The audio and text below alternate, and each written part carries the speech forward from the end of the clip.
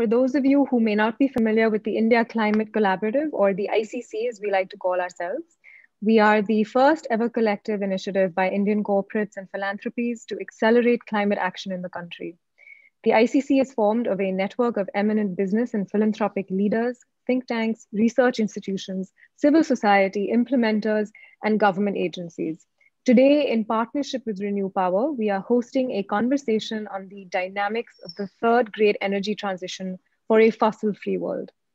If you have a question for our panel during this event, please do add it to the Zoom Q&A section along with which speaker it is directed to, and we'll make sure to address it towards the end of the session. India is on the cusp of an energy revolution. Renewables have skyrocketed in the past couple of years, bringing with them the great promise of increased energy access, employment opportunities, and improved air quality. Yet the transition from fossil fuels to clean sources calls for a reimagination of our energy systems as we know them demanding transformation in every element from grid infrastructure to energy policy. India is uniquely placed in her development trajectory, enabling us in a large part to leapfrog the fossil fuel driven technologies of the past. But at the same time, a lot of our infrastructure is yet to be built, which typically comes with a carbon printed price tag attached. So how can we use renewable energy to transform our electricity, mobility, and industry? How can we ensure equity in our transition and strengthen our economy? What are the challenges that stand in our way and how can we overcome them? To begin with, someone who can answer these questions for us is Sumant Sinha, the founder, chairman, and managing director of Renew Power, one of India's largest clean energy companies. Sumant founded Renew Power in January 2011 with a vision to transform the way energy is produced and consumed in India. He's a passionate advocate for solutions related to climate change and Sumant is also the co-chair of the Electricity Governors Group and a member of the Stewardship Board on shaping the future of energy at the World Economic Forum. He's also a board member of the US India Strategic Partnership Forum and senior vice president of the Associated Chambers of Commerce and Industries of India, or ASSOCHAM. He's also authored a book, Fossil Free Reimagining Clean Energy in a Carbon Constrained World. I have a copy with me right here, which is about the past, present, and future of the world's energy systems in the context of the world's changing climate. And it spells out a playbook to create a carbon life future for India. Thanks for being here with us today, Sumant. You know what I love most about your book actually are two things. The first is that it's a ready reckoner for all of us, even those of us who live and breathe this climate space. There's actually a great deal of learning and insight crammed into this book. And the second is really your passion for this sector, for its tremendous potential and what it means for our future. I was actually very moved reading your book, which is not something I expected from a book on renewable energy. So, Sumit, tell me, you've been in the renewable industry now for over a decade. You've literally witnessed its growth from the very beginning. What were some of the driving factors behind pending, penning down fossil free? Why now? Yeah, thank you so much, Shloka, for having me here. Thank you for that wonderful introduction as well. Uh, and thank you also for all the wonderful work that you all are doing at ICC. I think it's terrific. We need uh, more educated, uh, smart, and impactful voices like you all uh, to be shaping the discourse on um, the future of energy, the energy transition, climate change, and so on. It's absolutely essential and very critical. So thank you for all the work that you're doing in that regard. Um, uh, you know, just to answer the question that you uh, laid out as to why I wrote this book, you know, uh, as you observed, I've been operating in the sector for the last uh, 10 years now. And, um, you, know, there's so many developments happening uh, or have happened in the last 10 years time, primarily around technology developments, regulatory changes, you know, policy interventions by the government. Um, you know, it's, it's got to a point where the whole power sector, the whole energy sector, that whole landscape was changing around us. And uh, I just felt that, you know, operating in the sector, obviously I got to see all of that firsthand and, and deal with all the issues firsthand. But I also felt equally that for all of those people operating outside the sector who were not so familiar with it, uh, that there wasn't really a very good and deep understanding of what is really playing out in our sector. And to me, actually, the changes that are taking place are epochal in nature, uh, in the sense that the kind of energy transition that we're going through right now is the kind of energy transition that we've seen only twice, maybe in our history before. And, uh, and so therefore, this is not to be underestimated. This is, this is a fundamental inflection point uh, that we are at right now. And I just felt that this was not being appreciated by people, that, that the impact of this, the, the potential consequences of this, the implications of this uh, were not really being well understood. And so that's really why, with all of these thoughts bubbling inside me, I just felt the need to, you know, get it out there. I frankly didn't realize that uh, the, the book that I that, that that would have the you know it would have the power to to move people. But I'm glad to see that it had that kind of impact on you um, because I I really you know it's it's really much more a textbook kind of a uh, book in terms of talking about the sector, talking about the changes that are happening, uh, and, and talking about some of the future technologies and the future evolution that might happen. So it's it's something really that I felt uh, needed to be written. This you know it needed to be communicated to the world at large, and um, I'm hopeful that that is the impact that the book will have eventually. Definitely, I think you know the one thing that's sort of evident throughout is your optimism, um, and it's a practical optimism, which I think is is sort of unique. Um, you know, there is also I think a a realization of sort of you know how far we have come. And and i think tremendous sort of kudos to you know the, all of the sort of critical actors that have come together to make that transition or to provide the opportunity for that transition. And i think you have a very sort of um, you know optimistic and hopeful but yet sort of um, you know as i said practical and realistic perspective on what we can do and why the time is sort of crucial at this moment um, speaking of which, Sumant, it would be great to sort of dive in a little deeper. Mm-hmm. You know, one of the pieces around India's renewable energy um, transition has obviously been solar. It's grown dramatically in the last decade. You know, it's even become cost competitive with coal. What are some of the reasons behind this transition? Yeah, Shloka, you know, the reason uh, I'm optimistic is because I am an entrepreneur. My job is to be optimistic and to think positively about the future but I think it's also an optimism that is, uh, in a way, driven by the changes that I've witnessed. And you know, the changes have been dramatic and, and remarkable around us. Um, and, and, to it, it, sort of segues into your next question, which is about what are the changes that have happened? Why has solar become cheaper? Uh, and it's not just solar, by the way. It's both. It's both wind and solar. And the reason that they've become both the energy sources have become cheaper than coal-based power, uh, and not by a small amount, but by a huge amount, is uh, primarily because of technology evolution. And I think the learning curve of getting these kinds of projects implemented on the ground in India. Um, uh, so if you see, you know, we used to buy solar modules, uh, let's say four years ago, five years ago, yeah. at a dollar per kilowatt. Today, we buy the same solar panels at uh, 20 cents a kilowatt. Uh, so it's been a one-fifth cost reduction. I mean, to by a factor of 80% cost reduction just in solar panels, which you know account for 60, 70% uh, of the total cost, or maybe perhaps 50 to 60%. Uh, at the same time, efficiency levels have also gone up. And that means that we require less land, we require less structures, we require, you know, a lot of uh, less, you know, it's easier to maintain and so on. So all of those things have happened over a period of time, fairly rapidly, I would, I would, I would say. And a lot of it driven by manufacturing efficiency improvements uh, mm. in China uh, which is really able to build uh, manufacturing capacities at scale. Uh, and with all the R&D and research that is going on uh, into solar modules, I think that really has been uh, essential. Now, you know, studies have shown that as solar installed solar capacity doubles, the cost comes down by 20%. And because right. we're coming off a small base and the growth is rapid, therefore we've had multiple 20% type reductions to a point where the cost of solar is now at 20% of where it was literally four or five years ago. And that is why in India, today the cost of solar is maybe two, two and a half rupees per kilowatt hour, uh, compared to coal-based power, which you can argue is perhaps at about uh, four to five rupees a kilowatt hour. So it's more than 50% cheaper than, uh, than coal-based power. Um, now, of course, I'm not taking into account intermittency management issues and so on, but equally in coal, I'm not taking into account the environmental cost issues as well. So in some ways, you can argue that that might be a wash. Wind also something similar has happened. You know, turbine efficiencies have, have improved dramatically over the years, and that's why the costs costs have come down. And this is really the crux of the whole thing, uh, Shloka, that costs have come down to such an extent that renewables will become the basic, uh, you know, unit of addition uh, to meet new power demand in the future in India and elsewhere in the world. And that's why if you look at just capacity additions in India in the last two years, 80% have been in renewables. And if I look at the future, I won't be surprised if that is, you know, uh, e equal to 80% or more. And the, the issues are going to be the physical constraining factors more than anything else. I'm glad you actually ended on that note that was my next question for you was in terms of both policy and technology we've actually seen renewable energy face a number of roadblocks to widespread deployment I would love if you could sum up for us, you know, some of the major challenges that are standing in the way of our energy transition.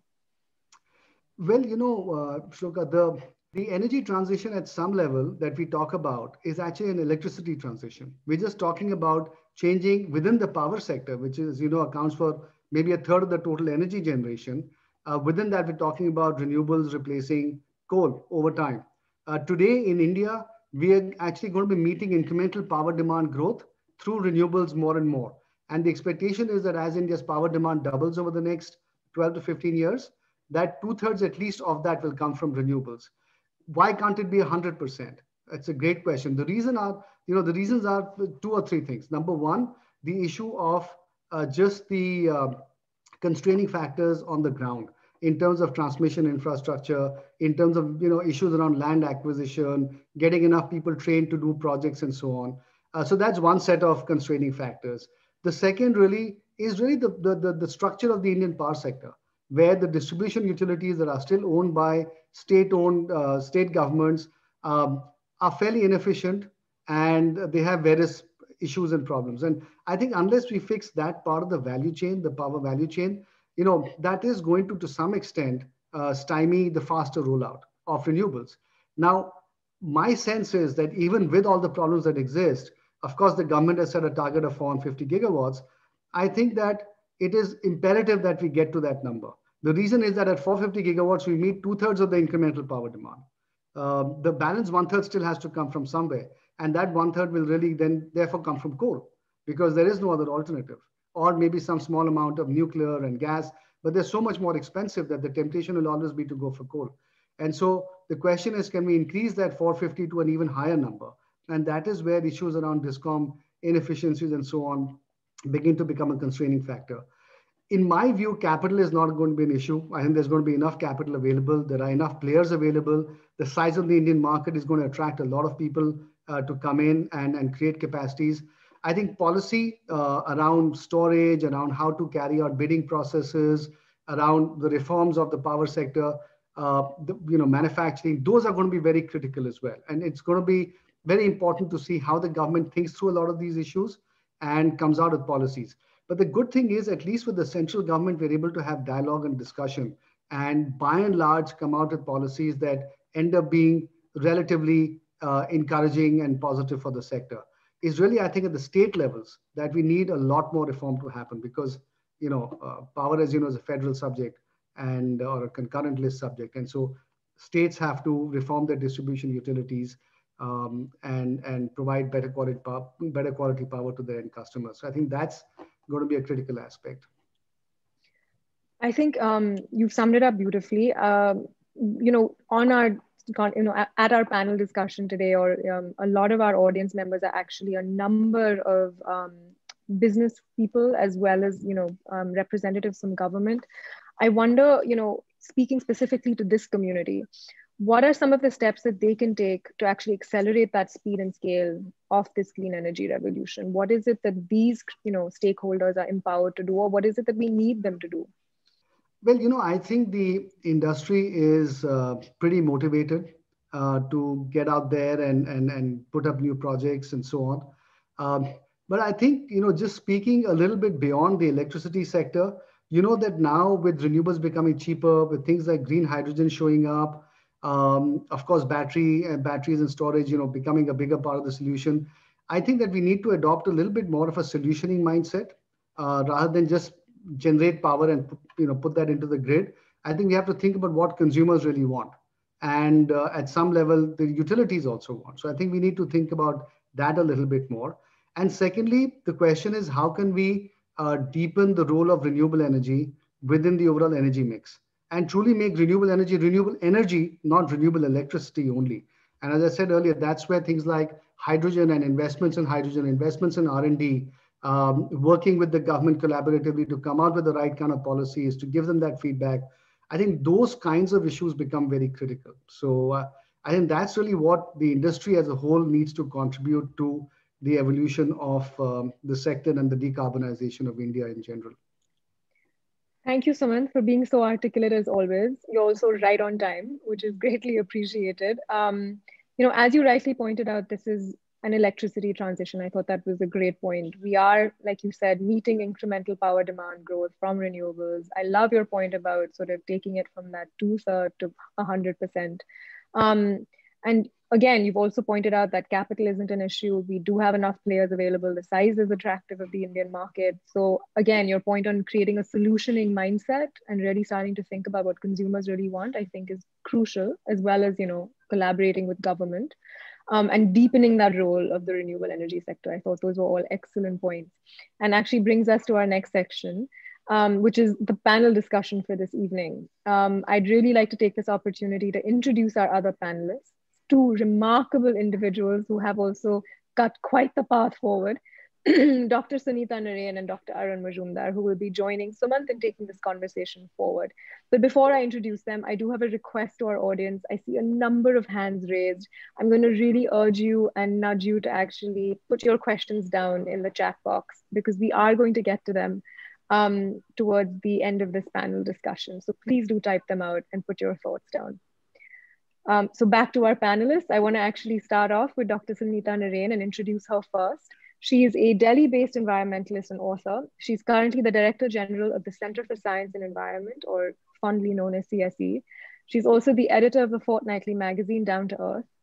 Dr. Narain plays an active role in policy formulation on issues of environment and development in India and globally. She's worked extensively on climate change with a particular interest in advocating for an ambitious and equitable global agreement. She was a member of the Indian Prime Minister's Council on Climate Change. She's been awarded the Padma Shri. And in 2005, the Center for Science and Environment, under her leadership, was also awarded the Stockholm Water Prize. In 2016, Time magazine selected her as one of the most influential people in the world. Dr. Narain received the Order of the Polar Star Award from the Swedish government in 2017 and the Edinburgh Medal in 2020 from the City of Edinburgh Council in the UK. She continues to serve on national and international committees on environment. Our next guest, Dr. Arun Majumdar, is the Jay Precourt Provostial Chair Professor at Stanford University, a faculty member of the Department of Mechanical Engineering. From 2009 to 2012, Dr. Majumdar served as the founding director of ARPA-E and from March 2011 to June 2012 as the acting undersecretary of energy. After leaving Washington, Dr. Majumdar was the VP for energy at Google. He is also a member of the National Academy of Sciences, the National Academy of Engineering, and the American Academy of Arts and Sciences. He also served as the vice chairman of the advisory board to the US Secretary of Energy, Dr. Ernest Moniz, and was a science envoy for the US Department of State and serves on the advisory board of numerous energy businesses and nonprofits. Dr. Majumdar received his uh, bachelor's in science and mechanical engineering in 1985 from the Indian Institute of Technology, Bombay, and his PhD from the University of California, Berkeley in 1988. So with that, I'm going to dive right into the first section of this discussion, which is actually going to be centered around society and technology. And Dr. Sunita, I'd like to begin with you. How do you think clean energy can actually play a role in building resilience for our country's most vulnerable populations? You know, uh, we are at a very, very difficult time in the world right now. I mean, we know uh, for people like us, and I can speak, I'm sure, for Arun as well as Sumant, though I suspect I'm the eldest of all of them. Um, We've been in, engaged with climate change negotiations and discussions for so long. And I know that when we began work on climate change, it just seemed so far away. It just seemed like something that would happen, but in some generation beyond us. It's happening today. It's happening in front of our faces. We can see the impacts of climate change growing. We can see this going to get worse and worse. It's like a spiral that is getting out of control. So, at one hand, we can see climate change happening. On the other hand, we know very clearly that energy is at the root of greenhouse gas emissions. And we also know that vast numbers of the world are still not connected to basic energy sources. So we are we are reaching a point where we are come to a tipping point where the world just has run out of literally the carbon space that we need for growth On the other hand, vast numbers do not have access to energy. And this is really where we have to not just believe in, not just invest in, and not just talk about transitions, but talk about the transformation that is needed in the world energy system, where the poor today provide you the opportunity to leapfrog. Frankly, today we are not at two degrees centigrade temperature rise only because there's such vast numbers of poor people in the world who do not have access to energy. The minute they move to our lifestyle, we'll be fried. so I think that's really where renewable energy, clean energy, and I think therefore Shloka, just to end uh, this point, I want to say, and I and I heard this from Sumant when he spoke as well. I think it's important for us to reimagine the clean energy future from the point of view of the poor. We have looked at renewable as a basic as, as, as energy, and therefore we've looked at it as a good, and it is a good. But the fact is, we need to combine now clean energy with the needs of the poorest of the world. And I think that's the real opportunity of, of clean energy. And we need to put that at the center of our discussions. I love that, Dr. Um, Sunita. I thought that's a brilliant narrative framing that um, it's not just about transitions, but it's about transformation and that the poor today provide you the opportunity to leapfrog. I thought that was brilliantly put, and I couldn't agree with you more.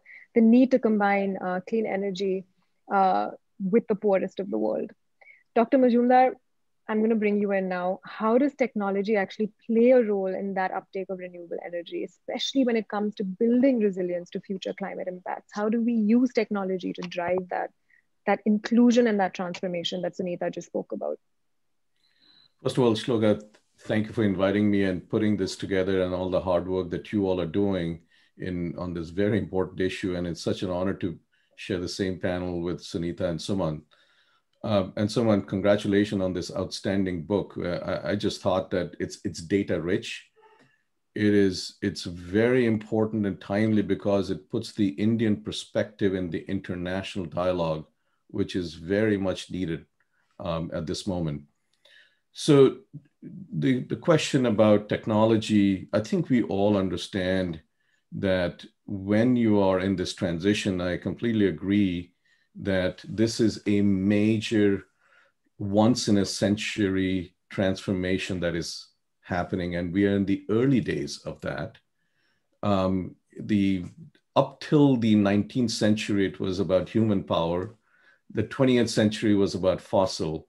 And this is going to be a hopefully a clean energy system. And I, I think in that technology, we are seeing, as, as someone pointed out, a dramatic reduction in the cost of solar and wind, but that's not going to be enough. And storage is going to be a major player. We are seeing the, trans, the transformation of the auto sector because of uh, storage, lithium ion batteries. And this is again a once in a century, century transition that is happening. But lithium ion batteries are not going to be sufficient for grid scale storage, long duration grid scale storage. And that technology needs R&D right now. But I don't think we should forget about the use of hydro in a pumped hydro way for storage, which turns out to be the cheapest. But I think it's important to note that it's not just about the technology, but it's about the system, the infrastructure. Transmission lines are going to be very important.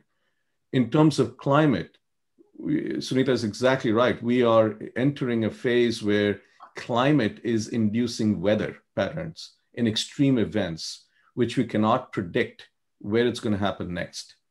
I had an op ed recently last month in New York Times on this particular issue that we've seen this massive thing in Texas that happened, but this is going to happen everywhere. And if someone asks me, where is the next heat wave in 2021? We can't predict that.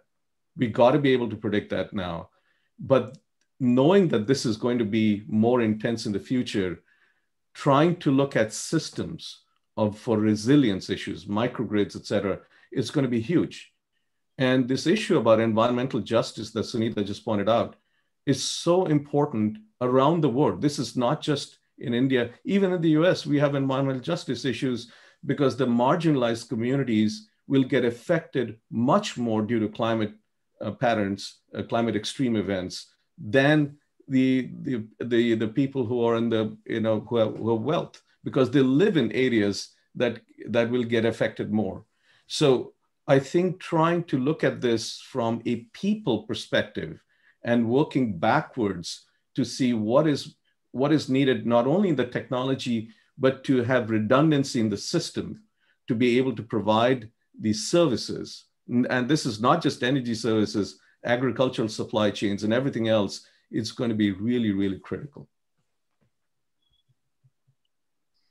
Thanks, Professor Majumdar. I, I really appreciate both you and Sunita framing the conversation as you just did, and especially your point on you know bringing out that people perspective or looking at this issue from a people perspective. It's something that Sumant has done in his book as well. It's it's rather people centered. Um, and I also appreciate your point about the dramatic reduction in cost isn't actually going to be enough. And that's really where, Sumant, I want to bring you back into the conversation now. Um, can you talk a little bit more about how you foresee the evolution of renewable energy technologies, specifically when it comes to hard to decarbonize sectors like industry and transport? Yeah, look, that's a great question, obviously, because as I said earlier, electricity represents only a third of the total energy uh, basket. Uh, the balance two thirds does come from the two other sectors that you mentioned, transportation and uh, industry primarily. Um, now, uh, you know, what's going to happen, I think, is that there are going to be new applications that will be coming up. So, for example, hydrogen is one way for us to bridge the gap between electricity and these other areas. Um, and I think as you look to the future, you'll start seeing the same kind of cost reductions happening in green hydrogen as you saw perhaps happening in uh, solar in the past as well.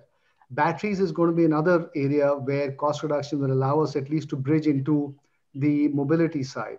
Uh, so I think between a mix of hydrogen and, and batteries, we'll probably start seeing a reasonably good amount of decarbonization happening in mobility first, uh, and then along with that in the hard to abate sectors.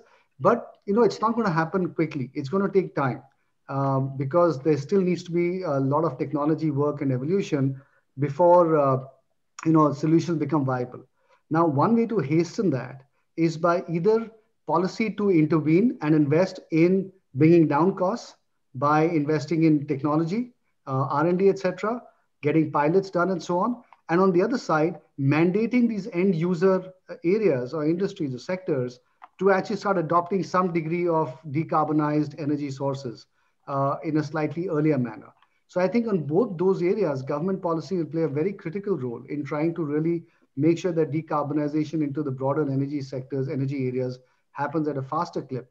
But behind all of that, the energy will have to be generated from renewable energy. Uh, and that means that renewable energy will have to grow so many times, it's actually unbelievable.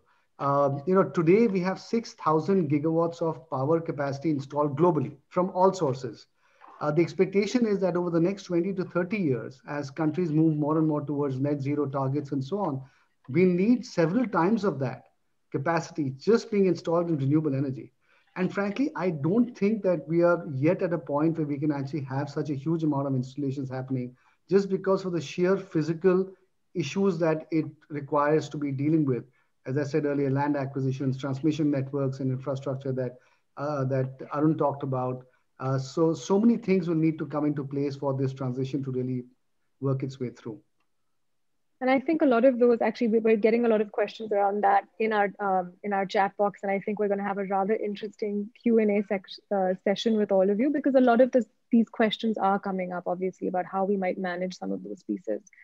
Um, over to you, Professor Majumdar. I wanted to actually understand from you on this deep decarbonization piece it does require expansive electrification of sectors that are currently reliant on fossil fuels. So how is India's grid infrastructure going to be, you know, upgraded at the same time while supporting an electrified economy? And you know, the big question, of course, what are you know, how are we going to finance this? And what are the, some of those possible options for us to finance this? Yeah, this is not just a India problem. This is a global problem. I can tell you about the United States as well that we have been so reliant on fossil fuels that transitioning out of it is going to be you know, this is not going to be easy. And we now have an administration in the United States that has a net zero goal of 2050. Now, to get to a 2050 net zero emissions economy is not only expansion of the electrification and especially renewable electricity into the grid. And by the way, the grid was never designed for renewable electricity, which is why you need some level of orchestration and coordination along with, with storage. But you also need, you know, the hard to decarbonize sectors are things like cement, steel, um, you know, petrochemicals. Um, you know, we're not going to get rid of, you know, petrochemicals uh, tomorrow. So they will be around, but how do you decarbonize them? And the idea of electrification is absolutely critical, but we are also thinking of, of looking at carbon management. Um, and so because there is already a sunken cost in the infrastructure and to be able to capture the CO2 and do something with it um, is something that we are actively looking at. And maybe that is relevant for India as well uh, because of the dependence on coal. But I think there's no question there's a massive expansion.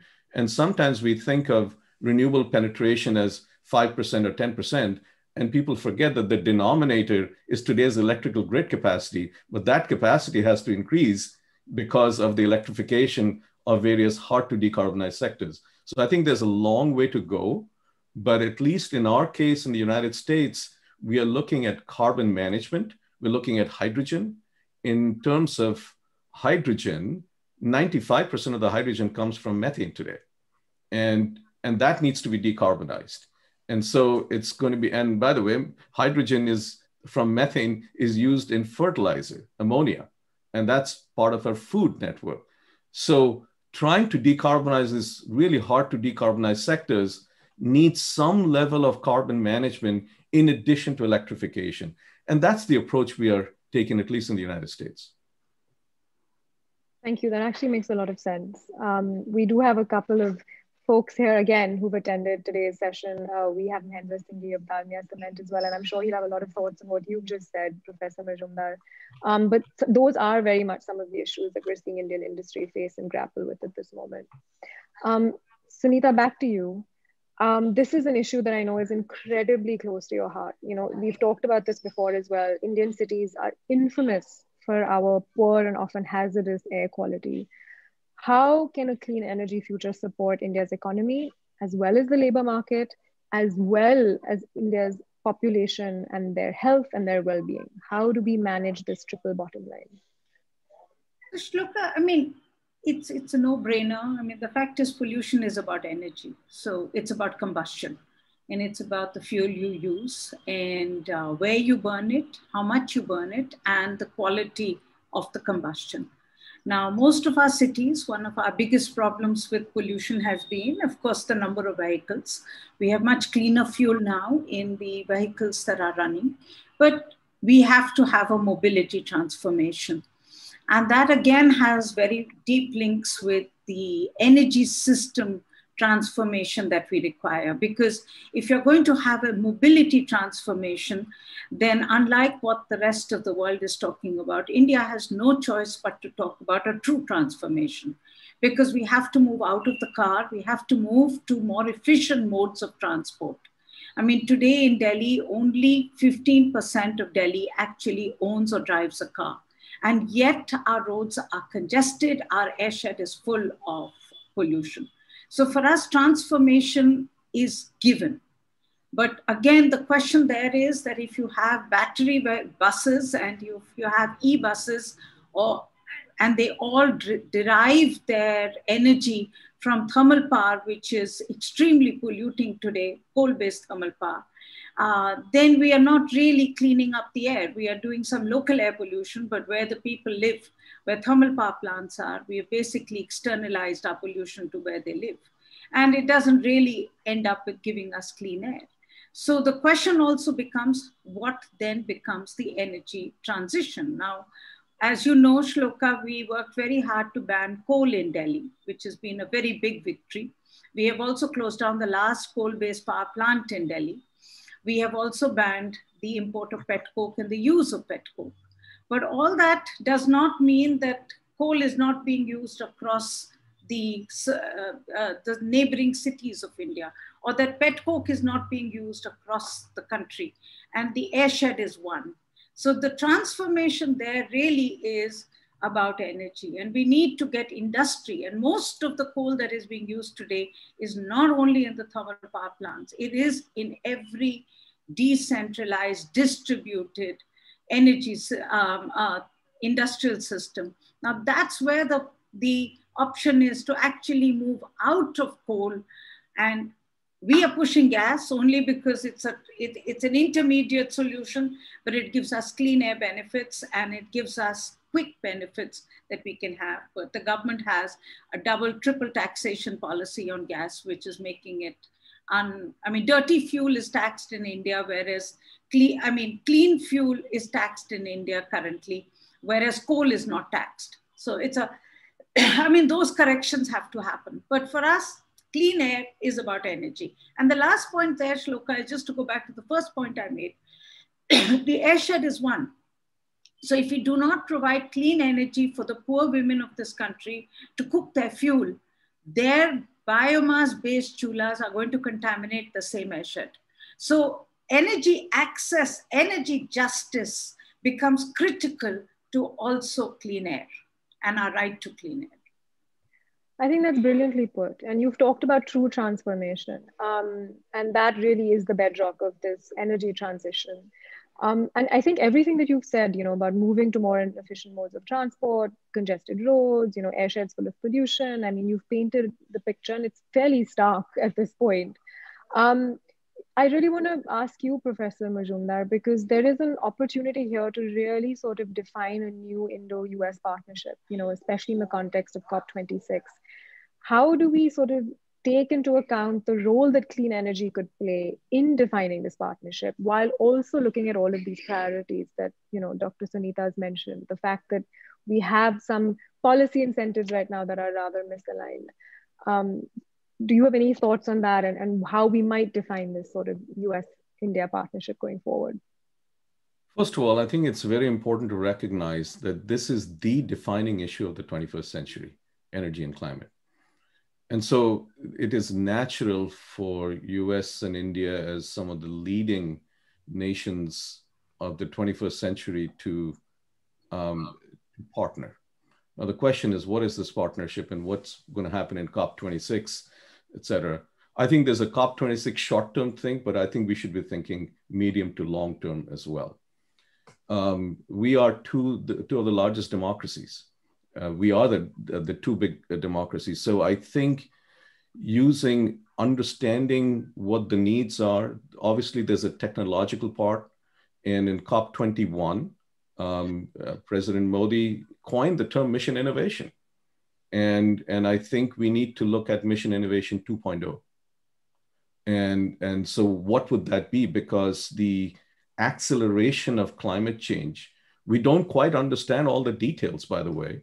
Um, and but the acceleration is happening, and we may be getting into some tipping points that we may not quite understand. So, accelerating the mission innovation has to keep at pace with the climate change issues as well there are issues about, as Sunita pointed out, environmental and energy justice.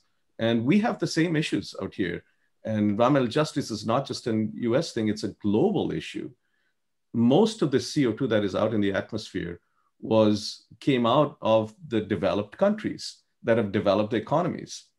And so the idea of leveraging that infrastructure to enable others to grow, which is why the net zero goal, the target the Biden administration has for 2050 is such an important one, which would hopefully allow other nations that are in growth mode to actually grow and still address climate change. That's going to be very important.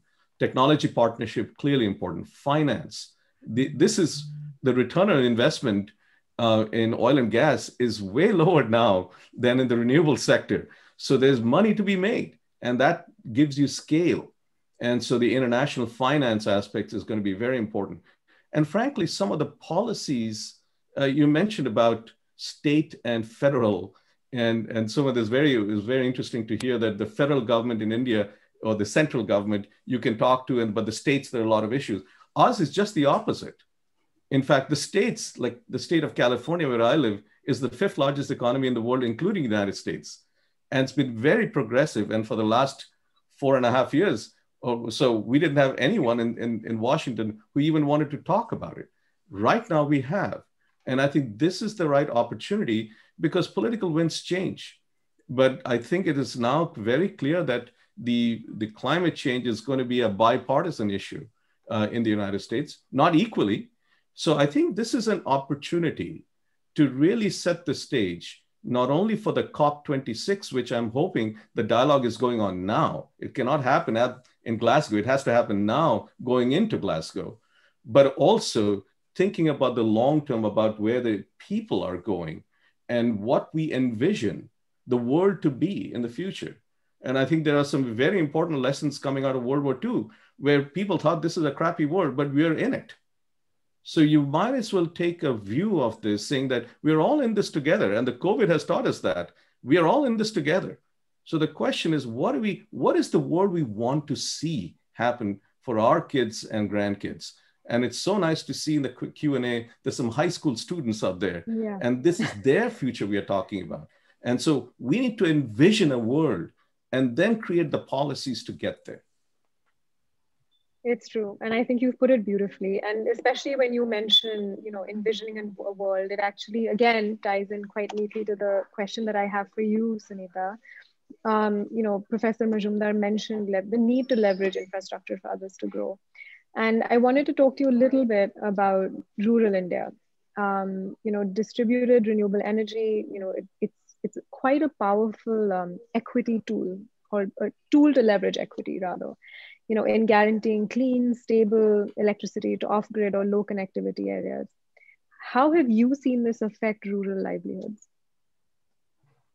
Shloka, I think um, it's an area that disappoints me enormously. I think, uh, and forgive me, Sumant, but I do think that to some extent the new energy business hasn't really worked hard enough to make itself relevant to, uh, to the needs of rural and poor India. And I think the new energy business has become part of the old energy business in that sense. Because when renewable energy came, for many of us, and maybe we were too idealistic, for us, renewable energy was part of that, that risk, you know, the ability to be able to give power in the hands of poor people. And yet, renewable energy has become part of the grid based energy futures. With nothing wrong with it because I understand scale is important and I understand that's how the cost of renewable energy has come down because we have been able to do it at that scale. But I do think that we need to make sure that the real opportunity of using this clean energy and putting it in the hands of poor people, we need to work harder at it. And quite honestly, it is turning out to be very tough. I mean, Shloka, there are three transformations that we are all pushing for. One is, if I may say so, the shit transformation, where we are all pushing for a new sanitation system where you can actually make sure it's affordable, convenient, and you don't go through the land route of pipes and pumps, but you actually go through an on site system it's the same thing we're talking about water. We are talking about rainwater harvesting, rooftop rainwater harvesting. Do it in a way that is on site, gives communities the power. On Monday, CSE will be releasing a incredibly powerful investigation we've done, going back to the villages to understand how villages have harvested the uh, rainwater. And it's incredible the power of transformation using water. I mean, you know, in all our worlds, we are looking for stories of hope, and this is one story of hope. But the same thing when it comes to energy, the big, big idea was that why do we need to go only the grid route? Can we not go off grid? Can we not think of nimble solutions which can put it into the hands of people? Now, clearly, it doesn't mean that you don't build a grid. It doesn't mean that you do not get energy into the hands of people. But we all know that even though the grid has reached people and even though there is an electricity pole now in every village, energy is not there. So this is an enormously you know, important time for us to reimagine the business of energy. And instead of the business of energy uh, being the same as thermal or, you know, or solar, we actually need a different business model. I mean, it's the Uberization of the energy system that we are really looking for. And I'm looking at Sumant particularly for that, saying, you know, that's the kind, that's really his next challenge and next uh, big goal has to be to take his industry uh, and make it much more relevant for the very poor in this country.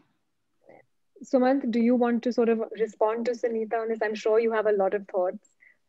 No, you know, it's a very interesting point that Sunita has raised, and I'll tell you why. See, uh, you know, it's a question of bandwidth, right? As I said earlier, we're all struggling to add more and more capacity. Now, I can add one megawatt in a grid connected uh, sort of a project very easily. And it'll mitigate a certain amount of carbon, right? I can do that with, let's say, 10 people working for, let's say, two weeks, right? But to put up that same one megawatt on a distributed basis, especially in villages where there's no business model, there's no commercial model, money collection is a problem, right? You don't know how uh, people are going to operate. You'll have to deal with all sorts of local issues there, right? I agree that there is an energy justice issue. I totally get that, right? But at the same time, there's also a carbon mitigation issue. And we're all in the same boat, as you talked about earlier, right? So would you rather that I spend my time putting that one megawatt in some place where I can do not just one, but I can do a thousand megawatts? Or should I spend that same time providing energy justice to 100 people, right? And doing much less carbon mitigation. So I think this is where choices have to be made, right? Unfortunately, because there is there are finite resources around us. And so this is an important issue for, I don't know, maybe the policymakers, the government has to, civil society has to think about these things and, and then decide. And, you know, it's not just a question of rural versus urban. It's also a question of country, one country versus another country. Because if I can invest a dollar in India and mitigate a higher amount of carbon versus investing that same dollar in the US or in Europe and mitigating a smaller amount of carbon, then we should have this, you know, systems designed at a multilateral level that that dollar goes into the place where the biggest amount of carbon mitigation happens. Because as Sunita said earlier, we don't have time, right? So the question is, if we do believe that, that we don't have time, then let's put all our resources and energy into reducing carbon, right? And other things will have to unfortunately wait. So I think that's how we have we have to think about these things. I'm not saying there are right or wrong answers. Mm-hmm. And of course, if we can find ways that address all of these different kinds of issues at the same time, that would be the best solution. But unfortunately, we know that life is not ideal. And so trade-off decisions have to be made, unfortunately. Thanks, Sumant. I, I actually am sort of really glad that we've started to get into it. There are a number of questions for all of you, in fact, um, which we've been compiling this past like half hour or so. Um, so I'm actually going to jump straight into the audience Q&A because I think there are a huge sort of very interesting bunch of questions here for you to start answering. Um, so I'm going to actually start with you, Professor Majumdar. I want to club a few questions together here that have come for you um, on how we could approach recycling across solar and wind infrastructure and lithium ion batteries as we increase our reliance on these technologies going forward. First of all, just to respond to Sumant's very interesting comment, there's one solution. We just need to clone Sumant many, many times. and thereby create the opportunity yes. to address but I mean, it's it's a very important point that yeah. this is not just for a single entrepreneur. And I think your chapter on what entrepreneurs have to do in your book is a very important one because there are multiple opportunities, and I think you need you need to think holistically about the whole ecosystem of people going after this, and and thereby addressing because this is not a one technology solution neither is it a one person solution. It's it's you really have to think about a community. And building that community is very important. And having the government policies in place for a long uh, you know sort of thinking long term and making predictable policies so that entrepreneurs can operate is very very critical. Coming to your question about recycling etc look we are these are new supply chains that are being created it's very important to recognize there'll be shift in supply chains. Supply chains is security, by the way. And so it is very important. And one of the things that we did, at least in gearing up to the Biden administration, is to look at these supply chains and making sure that some of these issues are addressed, at least in the United States. And I'm hoping India would think of that as a long-term supply chain shifts that are happening, whether it's lithium-ion batteries or renewables or others.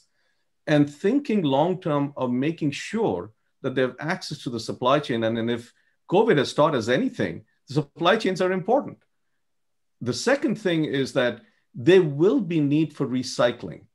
Uh, and, and that is because we don't have all you know access to all the elements that that is needed to create a lithium ion battery that is um, you know that is affordable and environmentally benign because the processes to extract lithium and cobalt and others uh, today are, are very environmentally unfriendly and so we have to look at it again as a system to be able to recycle which is called urban mining to be able to extract some of them and create lithium ion batteries again. This is going to be a major issue because the amount of batteries that we're going to create, and if you just dump it somewhere, that is not the 21st century solution. We got to be able to recycle and create the circular economy. The same thing, and by the way, this is for food as well. I come back to food because of the issue of, of people. And, and food and energy are so deeply connected that if you're changing the energy system, food will also get changed. And so the food wastage issue is also a massive, massive carbon emitter. If you look at food wastage and, and, and think of that as a country, that is the third, third largest emitter of CO2.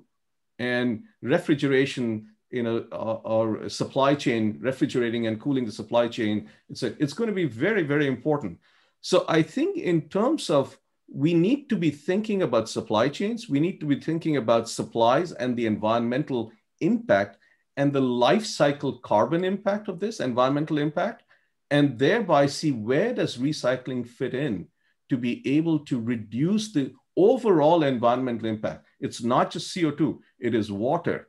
It is the local you know, minerals that go into you know, people's water tables, et cetera. This is going to be very, very important.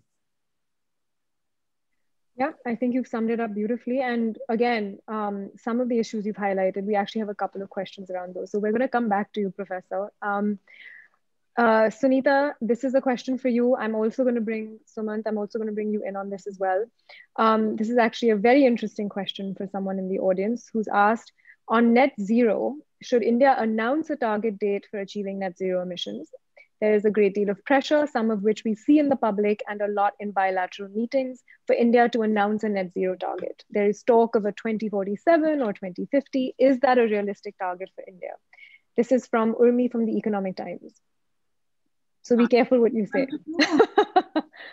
I'm happy to go, but I have a very contrary view on it. So, but please I'm, go first, Anita. I think you should, and then we'll, we'll have someone come in. I'm really worried about the terminology of net zero. And I'm really worried about the way countries are now uh, flogging it and flaunting it without any plan on how they will get to net zero.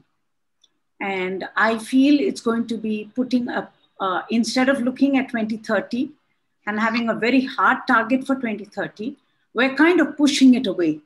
And now pushing it away is wonderful if you have an aspirational target. So you have, you know, I want to get there. Yes, wonderful but it's become a, it's become a sort of a race and so everybody is, oh, I'm 2050 and China's 2060. So India should be 2070. I'm certainly not going to be alive to know if it's going to happen in 2070. Okay. And then I've asked and I've done very detailed, we've done very detailed analysis of where is the pathway, the trajectory for countries to get to 2050. It, there is, it just does not exist. Europe does not have a trajectory. Japan does not have a pathway. US is talking up in the air right now. They have got massive advantage of moving out of coal to shale, yet their emissions are up, not down. Their transport emissions are going up. Yes, Biden is very important to have over Trump. Yes, we can exhale today because we have Biden. And we can all believe that we do not have a climate denier in the most powerful chair in the world. And it will push us to action. But the one thing that we should move out of this absolute, you know, no idea what net zero means. So, what is the science of net zero? Let's understand that, Shloka. Now that you've asked me this question and you've got me to, you know, erupt in front of everyone, what does net zero mean? Net zero means that I'm going to emit, continue to emit, but I will also remove my emissions so that I stay below and I'm in net zero. Okay, now what does removal mean? Removal means one, I can remove them by growing trees.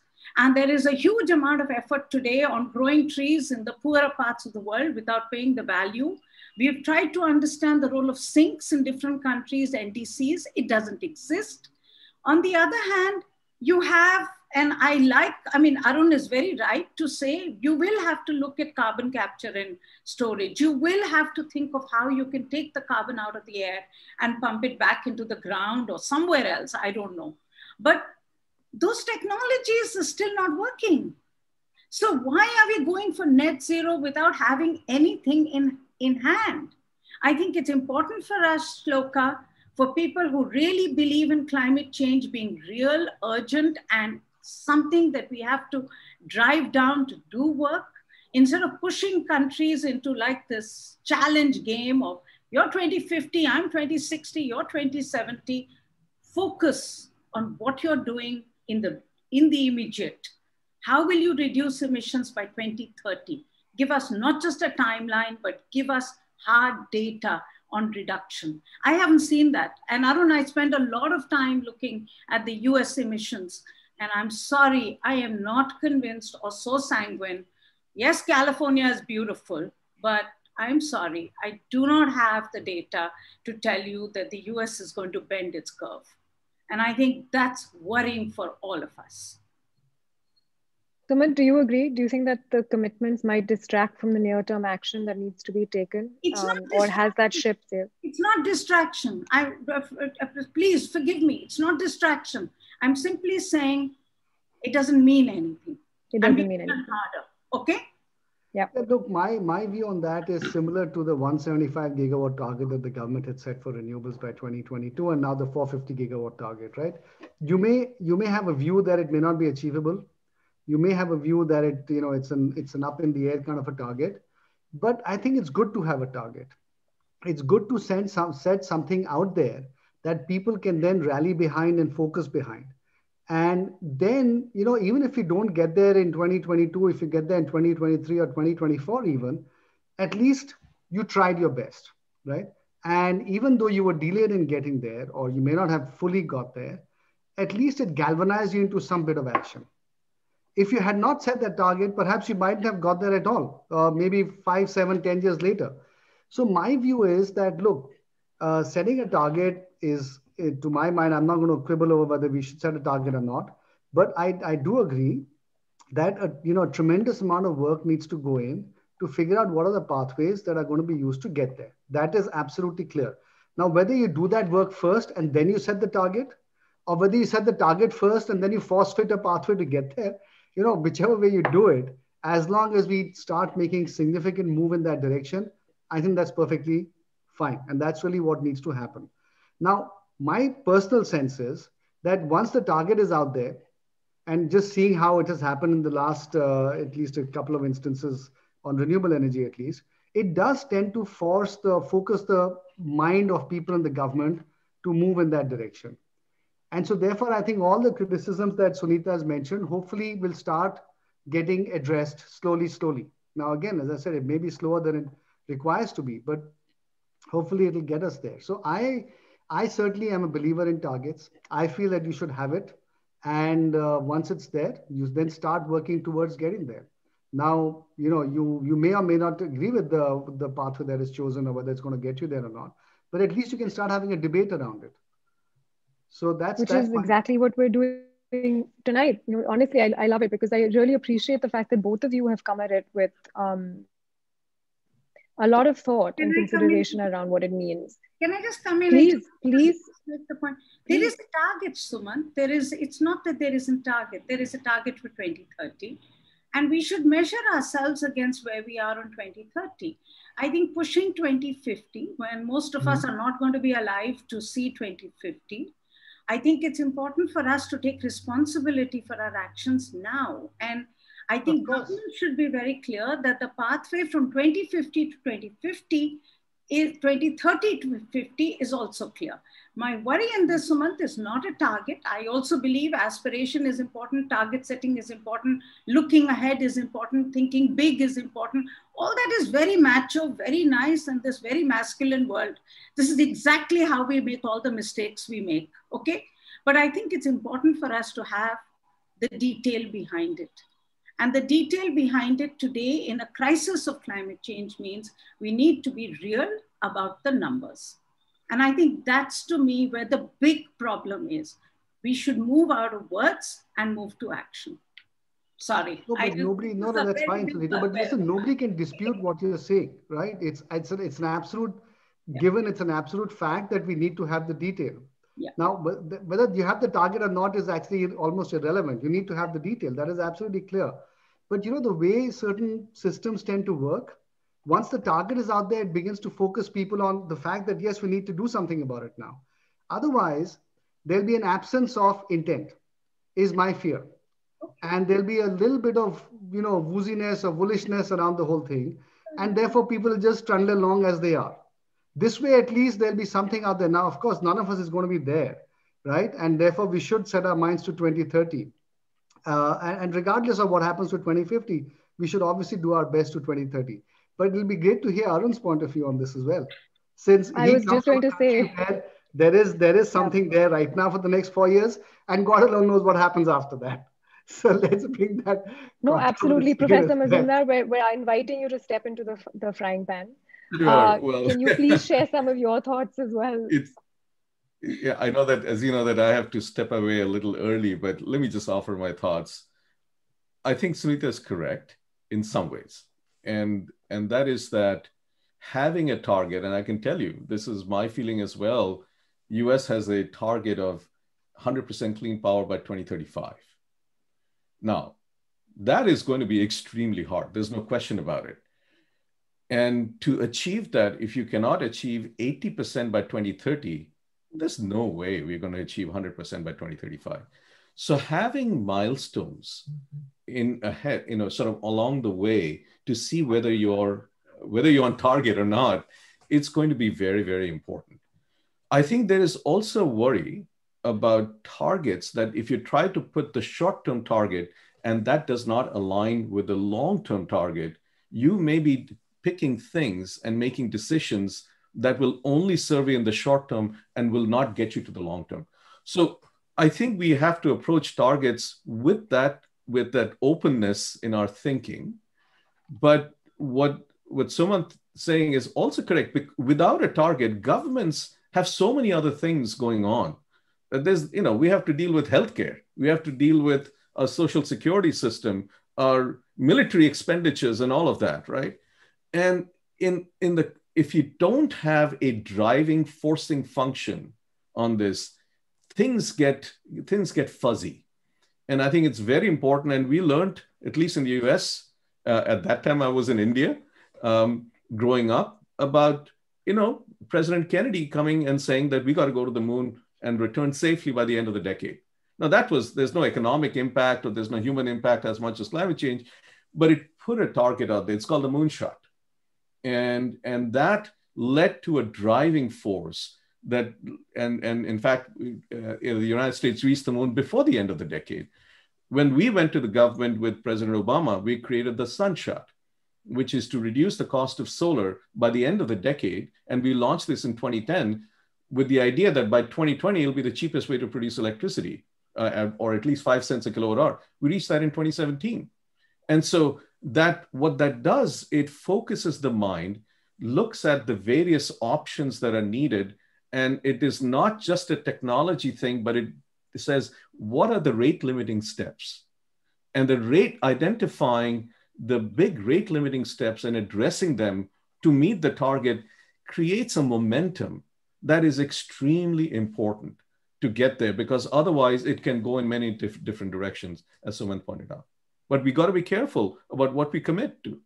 And, and if because there are, if we cannot commit, people will lose trust in this. And I think it's very important that at the end of the day, we are serving the people. Their trust is going to be important because they will be part of it.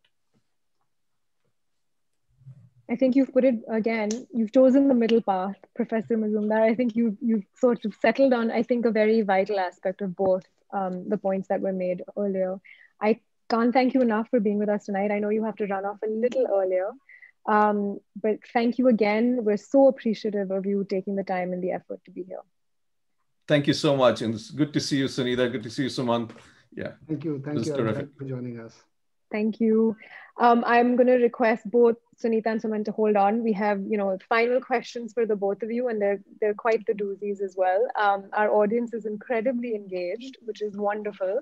Um, so, um, Sunita, to you first. Um, can you? The question for you is around land rights issues in India, and the um, audience member wants to know how can India preempt some of the land rights issues that could arise from the need for space and rare elements that will be critical to the energy transition. What are some participatory land use and rights frameworks that could both ensure communities are protected and that India moves towards cleaner energy sources and storage at speed and with scale? Honestly, I've not looked at it in the detail that the question has asked, um, Shloka. So I think the person is, uh, you know, I would not do justice to the question. But I think, yes, there's a big issue of land acquisition. And I think Sumant will be in a much better position to answer this because one of the big problems with renewable energy um, has been and uh, obstacles has been the availability of land both when it comes to solar and it comes to wind and that's been a big big issue and of course there are environmental issues combined as well i mean wind um, in terms of uh, you know the rights of particularly when it comes to forest areas where wind power has come in. Um, so I think land is a very big issue when it comes to the growth of renewable energy sector and will continue to be. Now that's where the whole challenge of using existing land. And you know sumant and I, and I were discussing earlier the whole question about scaled up renewable energy where you can do one megawatt at you know at speed and decentralized renewable energy where you're going rooftop per rooftop to rooftop to rooftop. And it's actually a much slower route in terms of bundling up to that one megawatt but that's where the advantage say like a country like germany used was massive use of the existing land which is the rooftop land for for renewable energy and sort of uh, avoiding some of the land acquisition. There is also, if you look at the renewable energy area, one of the big growth areas today is offshore wind. In fact, if you look at the UK's track record for meeting, and that's one country which is possibly on track right now um, on meeting some of its Paris commitments, its real success has been offshore wind. And that's happening also in Europe and other countries. Again, very expensive for us and it has its own problems. But you know, I think every energy source will have its problems when it comes to land, and that's where the very careful decision making will have to be taken. Right, and that's fair. And I think you've answered that question, um, Sunita, really well, actually. Um, Sumant, final question to you. While significant impetus is given on how the energy is generated as far as fossil, a fossil-free world is concerned, what is the role played by the distribution companies? It's said that the cleanest energy is the kind we don't have to produce. Must discoms have a roadmap to move towards loss reduction and increase in energy efficiency? Oh, look, that comment is absolutely right. Uh, and in some ways, you can argue that energy efficiency has to be your first port of call. Um, because as, as the person rightly said, uh, you know, a unit of energy not produced, not uh, not consumed means it doesn't have to be produced. So I think making sure that all of our electrical appliances are in fact becoming more and more energy efficient is something that is very important. Our industrial processes and systems have to become more energy efficient as well. That is critical. Um, and we have to make sure that we put higher and higher standards uh, of efficiency. So that is number one. Number two, to the fact that distribution utilities are wasting a lot of power currently, that is also absolutely right. I think the the nationwide amount of electricity that is lost uh, through um, losses, as they're called, is upwards of 20 odd percent. And that's obviously very high.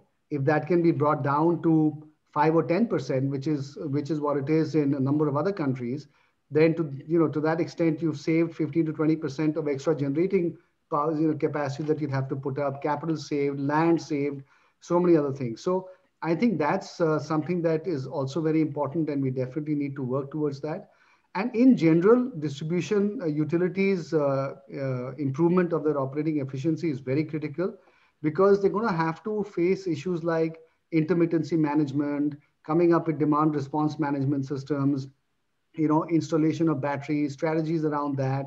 Um, you know, this whole issue of rooftop solar, one of the single biggest reasons it's not getting done is because net metering rules across India are not very good.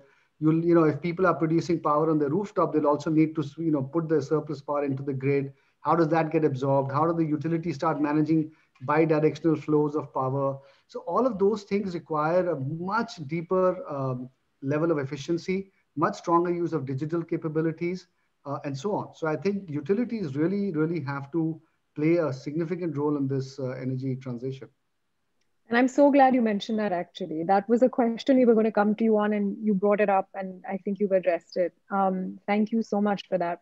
I'm going to ask you both for closing remarks, um, you know, just a few lines each, and I'll come to you, Sunita, first. But, you know, when you think of fossil free um, or a fossil free India, what comes to mind?